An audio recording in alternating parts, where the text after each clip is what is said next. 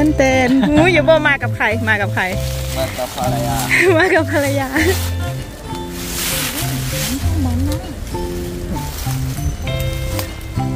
หูมันเอามามานี่ค่อยเหรอปันไหนเออรูดได้เลยมากับเอาเนี่ยอะตอนนี้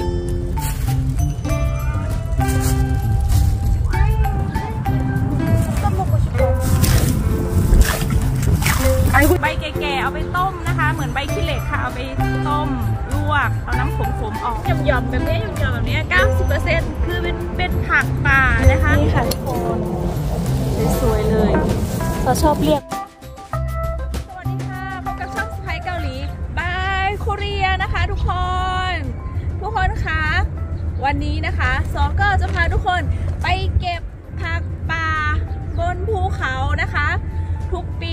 ในช่วงต้นปี ก็จะมีผักป่าผักที่เกิดขึ้นเองตามธรรมชาตินะคะ มันงอกขึ้นมาค่ะแม่ย่าก็จะพาไปเก็บมากินนะคะ มีผักป่าที่หลากหลายชนิด รสชาติแตกต่างกันไป ความอร่อยแตกต่างกันไปนะคะ กินแล้วอร่อยแล้วก็มีประโยชน์ด้วยนะคะ แล้วพวกเรานะคะก็ไปเที่ยวเมืองไทยกันเนาะตั้งสองเดือนใช่ไหมพอกลับมาถึงที่เกาหลีนะคะ ก็ได้ข่าวมาว่าผักเนี่ยมันเริ่มงอกแล้วนะคะ ก็เลยไม่รู้ว่าวันนี้ไปเก็บเนี่ยผักมันจะอยู่รอเราหรือเปล่านะคะ เดี๋ยวยังไงไปด้วยกันนะคะ ทุกคนเราจะได้ผักอะไรมากินบ้าง ไปด้วยกันวันนี้เลยค่ะไปค่ะทุกคนไปเก็บผักกันค่ะฝากคลิปนี้ไปถึงพ่อบรรทมนะคะ ถ้าพ่อบรรทมกำลังดูคลิปนี้อยู่ อยากจะบอกพ่อบรรทมว่า พ่อพ่อพ่อมุงแล้วเด้อคือการคัก เพราะว่าอะไรรู้ไหมทุกคน ทุกคนดูกระเป๋าแม่ยาไม่รูดซิปนะคะ แล้วคราวนี้ตอนซอกลับไทยใช่ไหมพ่อบรรทมก็ไม่รูดซิปกระเป๋าไม่ชอบรูดเลย เป็นแบบนี้เลยค่ะ เวลามาจากนามาจากตลาดจะเห็นบ่อยมาก คือกระเป๋ามันเปิดอ้าแบบนี้เลยค่ะตองแต่งตองแต่งอย่างนี้เลย แล้วทุกคนก็จะแม่ร้อยกับซอนี่แหละ ถามประจำเลยพ่อรูดซิปเดี๋ยวของมันจะหล่นออกนะคะ แต่พ่อพูดขึ้นมาคำนึงว่าเป๋ามันไม่มีของสำคัญเงินก็ไม่มีไม่มีอะไรเลยก็เลยไม่รูดก็เลยไม่รูดค่ะ เพราะว่ามันไม่มีของสำคัญนะคะ พอเห็นแม่ยาไม่รูดซอก็เลยนึกถึงพ่อบรรทมค่ะ แม่ยาเราก็จะเริ่มรูดซิปตอนเราได้พักค่ะ ของสำคัญเราก็คือพักกุละ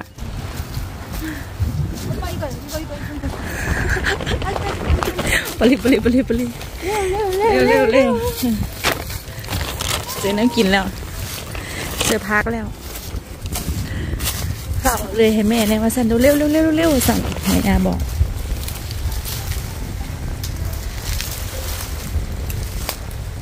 โหมันเอามา มานี่ค่อยเหรอผักน้ำมันเริ่มแก่แล้วค่ะ มันเริ่มบานไม่ใช่เริ่มแก่ มันยังไม่แบบแบบเนี้ยเมื่อก่อนมันจะเป็นดอกแบบจุ่มๆแบบเนี้ยแต่ตอนนี้มันเริ่มเป็นอย่างเงี้ยละเพราะอากาศร้อน เพราะว่าเรามาช้า ทุกคนอากาศดีมากเลย ลมพัดมาเย็นหน้ามากเลยนะคะ เย็นเหมือนอยู่ในตู้เย็นเลยค่ะ เข้าตรงไหนดีนะ ตรงนี้ดีกว่า เข้าซอยนี้ดีกว่า เราก็เลือกเลยว่าเราจะเข้าซอยไหนนะคะ แล้วก็ใช้จิตสัมผัสเอาค่ะว่า ตรงที่เราเคยมา มันจะมีคนเก็บหรือเปล่าอะไรอย่างนี้นะคะ มันจะงอกหรือเปล่าก็ใช้จิตสัมผัสเอาค่ะ แล้วก็เดินมาค่ะเดินมาไกลสักนิดนึงเพื่อมาเอาแค่ต้นเดียวนะคะอุ้ยมันบานแล้วนะทุกคนมันแก่แล้วเรามาช้า เพราะว่า เรามัวแต่ไปเที่ยวที่ประเทศไทยอยู่นะคะ เรากลับมาผักผักมันบานหมดแล้วค่ะแบบเนี้ยอืมโอ้ไม่ได้แล้วทุกคนเราต้องเปลี่ยนเส้นทางค่ะ เดี๋ยวก่อนนะคะจะไปจุดสัมผัสจะไปทางไหน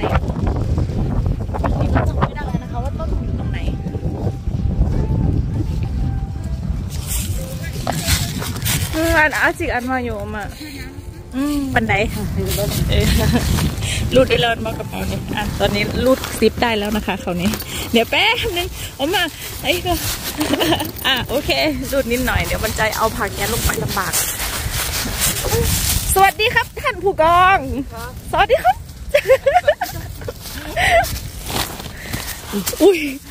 อุ้ย เดี๋ยวว่าเปิดเสื้อดิ เปิดเสื้อข้างในสิ เปิดดิท่านเตนหูอย่าบอกเตนหูอย่าบอกมากับใคร มากับใคร มากับภรรยาช่วงนี้นะคะก็จะเป็นช่วงฤดูใบไม้ผลิของประเทศเกาหลีค่ะ ตั้งแต่เดือนมีนาคมนะคะ ไปจนถึงเดือนพฤษภาคมค่ะ เป็นช่วงที่มีผักป่าเกิดขึ้นเยอะมากชาวเกาหลีนะคะ โดยเฉพาะคนแก่ที่อยู่บ้านเฉยๆนะคะ จะพากันออกมาเก็บผักป่าบางทีก็เก็บไปกินบ้างไปขายบ้างนะคะ เป็นฤดูกาลที่หลายคนรอคอยค่ะ ทุกคนช่วงเนี้ยผักป่าพวกนี้นะคะ นอกจากจะอร่อยรสชาติแปลกใหม่ ไม่เหมือนกับผักที่เราปลูกกินเองแล้วนะคะ ทุกคนเขายังมีประโยชน์อีกมากมายนะคะ ให้สรรพคุณทางยาดีมาก พอถึงเวลานะ แม่จะรีบามาเก็บเลยค่ะ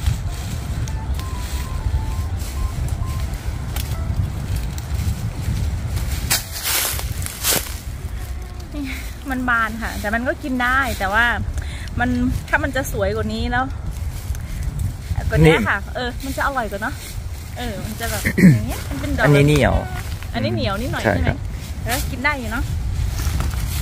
ต้นผักหนามที่เกาหลีนี่ สังเกตง่าย ๆ เลย น้ำเต็มเลยค่ะ แล้วมันจะมียอดแบบนี้นะคะ เราก็เด็ดค่ะ นี่ยอดของมัน นี่ละค่ะ เด็ดไปกินขมนิดนึงกำลังแซ่บค่ะ แต่ถ้าไม่เก็บเห็นไหมแป๊บเดียวเท่านั้นนะคะ เขาก็จะกลายเป็นต้นจะกลายเป็นใบไม้แบบนี้เลยนะคะ ซึ่งมันก็จะไม่อร่อยแล้ว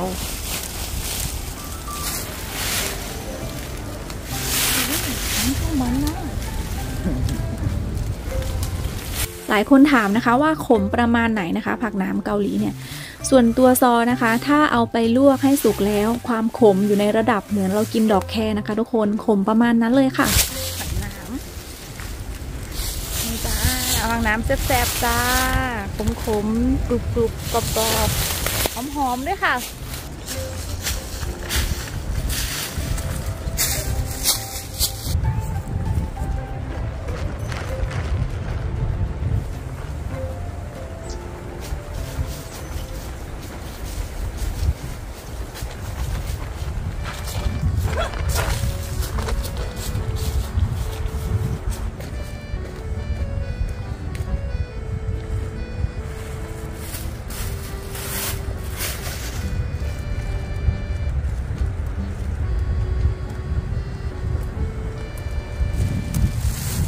ก็จะเด็ดประมาณนี้นะคะ เอาไปลวกเนาะ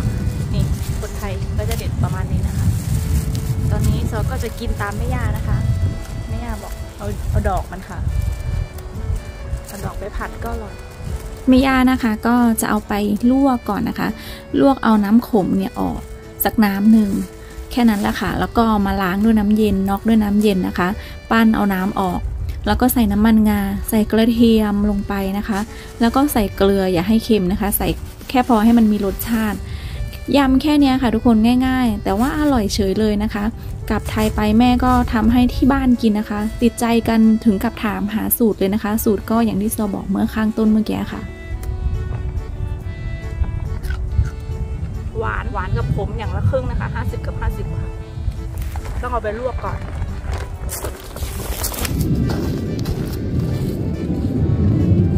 คนคะปีนี้ได้ผักน้ำป่าน้อยมากเลยค่ะ เพราะว่าพวกเรามาช้านะคะผักน้ำก็เริ่มบานค่ะ แล้วก็มาช้ากว่าคนอื่นนะคะ คนอื่นเขาก็เก็บกันไปหมดแล้ว มีรอยคนเก็บเต็มเลยค่ะ มีต้นนี้ต้นเดียวที่สวยกว่าเพื่อนเลยนะคะ ตั้งแต่เก็บมาเนี่ยต้นนี้งามมากเลยเนี่ยยอดแบบนี้คือสวยค่ะ เดี๋ยวพวกเรานะคะก็จะลงเขากันแหละคราวนี้จะไปเก็บผักอย่างอื่นที่บ้านกันค่ะ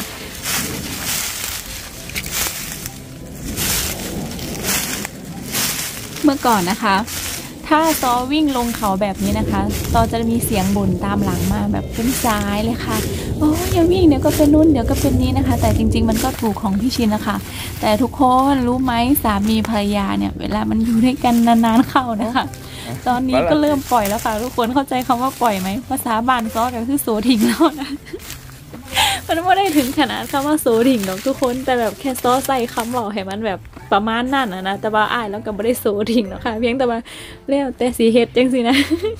แห้งอยืดน้ำกันโดนก็แห้งแบบแล้วแต่สีเฮ็ดจังสินะจ๊ะแล้วแต่จะทำอะไรอย่างเงี้ยค่ะ เหมือนอยู่ด้วยกันนานนะคะ ทุกคน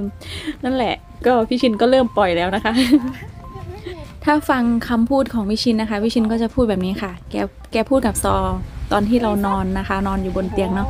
เอาทุกคนซอเลยสิบอกให้ทุกคนคิดลึกไม่ใช่อย่างนั้นนะคะ คือตอนก่อนจะนอนนะเราก็จะเล่นโทรศัพท์อยู่บนตรงบนเตียงใช่ไหมคะแล้วพี่ชินนะก็หันหน้ามาพูดกับหนูใช่ไหมแล้วก็บอกว่าซอซอน่ะ ผมนะจะไม่ห้ามคุณแล้วนะอะไรอย่างเงี้ยเมื่อก่อนอะผมชอบห้ามคุณไม่ต้องทำนู่นไม่ต้องทำนี่ ก็คือห้ามบ่อยมากอะไรอย่างเงี้ย แต่ตอนเนี้ยอะไรที่คุณทำแล้วคุณมีความสุขนะ ผมจะให้คุณทำเพราะผมอยากให้เพราะเวลาที่ผมเห็นคุณมีความสุขนะ ผมได้มีความสุขไปด้วย แล้วพี่ชินที่แบบเนี้ยหนูเลยรู้สึกว่านี่แหละคือความรักอันแท้จริงนะคะ ทุกคนคนเราอะ รักกันนะมันต้องเป็นแบบนี้นะคะ เมื่อก่อนนะพี่ชินห้ามซอหมดทุกอย่างไปไหนก็ไม่ได้ คุยกับใครก็ไม่ได้ทำนู่นก็ไม่ได้ทำนี่ก็ไม่ได้คือเขาจะอยากให้เราแบบอยู่เฉยๆนะคะ ทุกคนโอ้ยซึ่งซอทำไม่ได้เลยนะคะ ไม่ได้เลยจริง ๆ นั่นแหละช่วงแรกๆก็วิทะเลาะกันบ่อยนะ ทุกคนเนี่ยออกมาแค่ข้างนอกบ้านมาเก็บผักแค่นี้นะคะด้วยโทรตามแล้วทั้งๆที่บ้านอยู่ใกล้ๆก็โดนเรียกโทรตามนะคะ ทุกคนจริง ๆ เมื่อก่อนเป็นอย่างนั้นเลยนะคะ ตอนนี้พี่ชินก็เปลี่ยนไปเยอะมากๆเลย แล้วก็พูดกับซอแบบนี้ใช่ไหมบอกว่าเวลาที่ผมเห็นคุณมีความสุขผมมีความสุขผมรู้สึกแบบนั้น ซึ่งเมื่อก่อนอะ ผมขอโทษนะ ที่ผมแบบห้ามคุณเยอะเกินไปอะไรเงี้ยค่ะซอได้ยินแล้วซอแบบอุ้ยดีใจพี่ชินเปลี่ยนไปแล้ว นี่แหละคือความรักอันบริสุทธิ์อันแท้จริง เรารักกันต้องเป็นแบบนี้แหละซอก็ดีใจแล้วก็รู้สึกรักพี่ชินเพิ่มขึ้นมากเลยค่ะ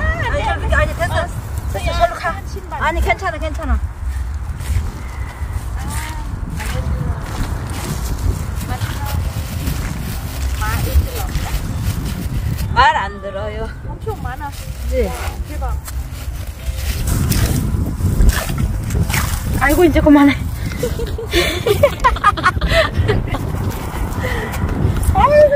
ผักที่เก็บกับแม่เมื่อกี้นะคะ เป็นผักชีล้อมนะคะ อันนี้ก็ผักชีล้อมเหมือนกันค่ะ ผักชีล้อมเนี่ยจะเกิดตามที่ที่มีน้ำนะคะ ตรงไหนไม่มีน้ำต้นมันจะสั้น ๆ แบบนี้ค่ะทุกคน แต่ต้นมันก็ยังไม่แก่นะคะ ต้นยังอ่อนอยู่ค่ะ ช่วงนี้ผักทุกอย่างอ่อนหมดเลยค่ะ จะมีกลิ่นอ่อนๆคล้ายๆผักชีนะคะ แล้วก็มีความมีรสหวานนิดนึงค่ะทุกคน นิยมเอาไปทำกินได้ทั้งแบบสดนะคะ แล้วก็แบบสุกนะคะทำได้ทุกเมนูที่เราอยากทำเลยค่ะ เก็บผักฟันสิงโตต่อที่บ้านนะคะ ทุกคนอร่อยมากเลยนะคะ ขมนิดนึงค่ะขมอ่อนๆนะคะลวกกินกับส้มตำนะคะ เอาไปยำสดๆก็อร่อย เอาไปลวก เอาไปต้มก็อร่อย เอาไปทำแกงขี้เหล็กก็อร่อยนะคะ คือแบบอร่อยเลยนะคะ วันนี้ซอสก็จะมาเอาใบอ่อนๆมันนะคะ ไปทำอาหารค่ะนี่ทุกคนตัดอย่างนี้เลยนะคะ ดอกมันก็กินได้เอาไปตักแห้งทำชาได้ด้วยนะคะแสบด้วยนี่แสบด้วยทุกคนพักแสบด้วยนี่ที่เมืองไทยนะ ตอนนี้มีคนเอาเมล็ดของอดอกฟันสิงโตเนี่ยนะคะ เอาไปขายที่เมืองไทยด้วยนะ มีคนอยากกินด้วยนะคะอ๋อคนสวยไปไหนมา เดี๋ยวดอกมันไปกินด้วยค่ะเนื้อคนสวยไปไหนมาคะ นมาจ๊ะ นี่ค่ะทุกคนกระแซบขนาด ใบแก่ๆเอาไปต้มนะคะ เหมือนใบขี้เหล็กค่ะ เอาไปต้ม ลวก เอาน้ำขมๆออก ลวกแล้วก็แบบต้มเอาน้ำขมออกสักน้ำเดียวก็พอค่ะ แล้วก็ไปแกงขี้เหล็กค่ะใส่หนังควายใส่อะไรก็ว่าไปนะคะ เอาที่เราอยากใส่นะคะหรือต่างประเทศก็เอาไปกินแทนใบขี้เหล็กได้ค่ะ แต่ว่าไม่ได้ขมมากเหมือนใบขี้เหล็กขนาดนั้นนะคะขม น้อยกว่าใบขี้เหล็กค่ะ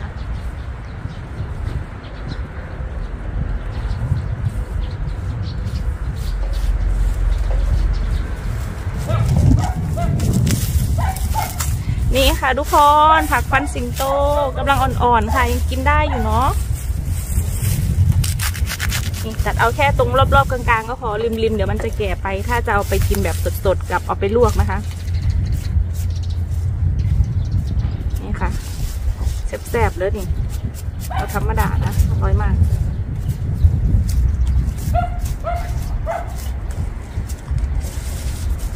นี่ค่ะต้นงามๆนะคะ แบบว่าไม่ได้เหนียวนะ ทุกคนเห็นแบบนี้ไม่เหนียวไม่แก่นะคะ อ่อนค่ะปลาก็กินได้นะคะ สวยๆเลยจ้า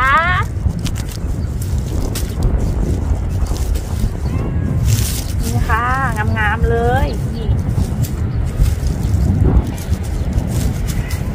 สวยๆเลยค่ะ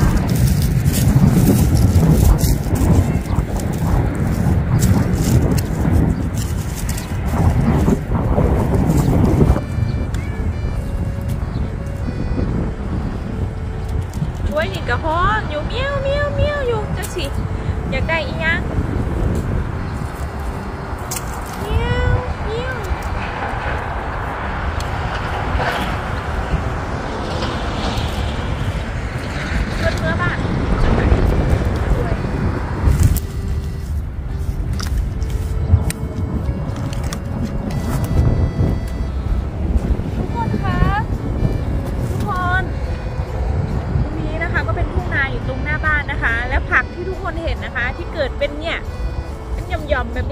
แบบเนี้ยหย่อมๆแบบเนี้ย90%คือเป็นเป็นผักป่านะคะ ที่กินได้นะคะ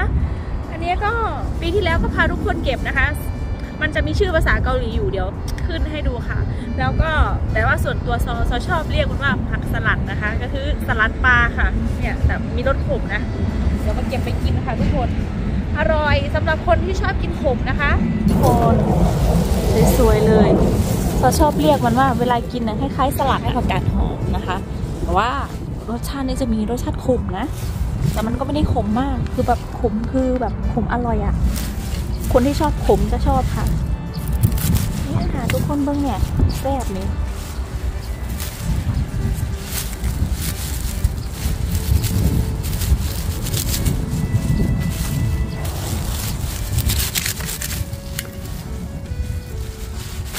นี่จ้า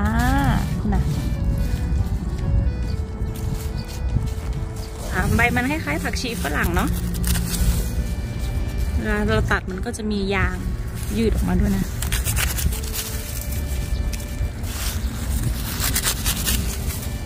นี่จ้ะ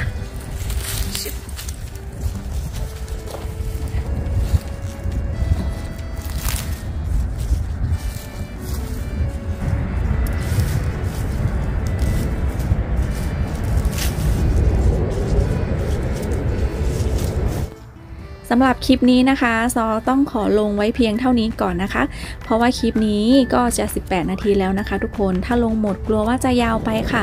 เดี๋ยวคลิปที่กินข้าวกันนะคะ กับผักป่าที่เราหามาขอตัดไปเป็นอีกคลิปหนึ่งแล้วกันนะคะ ทุกคนยังไงก็ฝากกดติดตามช่องไว้ให้ด้วย แล้วก็กดไลค์เป็นกำลังใจให้กันด้วยนะคะ ทุกคนค่ะ ไว้เจอกันใหม่ EP ถัดไปค่ะ ทุกคนกินข้าวกับผักป่าหลากหลายเต็มโต๊ะนะคะ เป็นผักที่แปลกแต่อร่อยมากเลยค่ะ แล้วก็ทำภารกิจอย่างอื่นด้วยกันใน EP หน้าค่ะ คลิปนี้ขอลาไปก่อนนะคะ ขอให้ทุกคนมีความสุขในทุกๆวันนะคะ สวัสดีค่ะ